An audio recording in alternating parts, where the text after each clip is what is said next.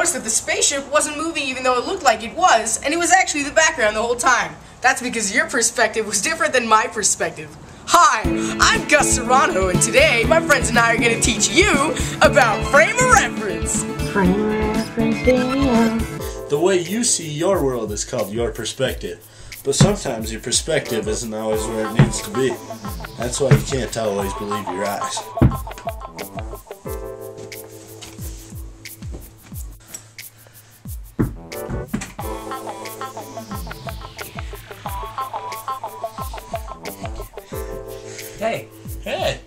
Can I have some of that? sure.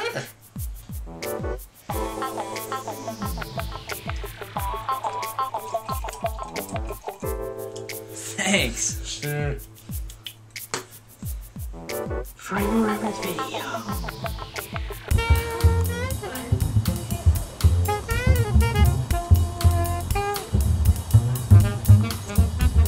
Is Craig really spinning, or is it the camera in the background? If you guessed B, then you're correct.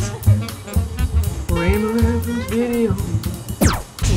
Another example is it doesn't actually look like I'm driving when I really am.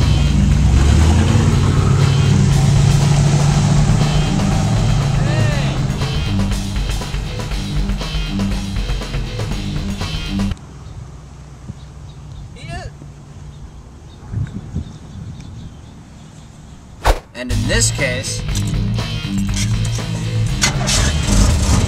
not actually driving.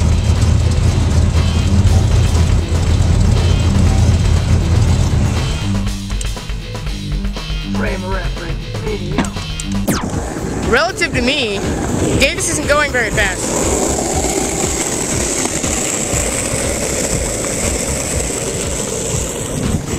But to a bystander, they both are. Well, Davis isn't.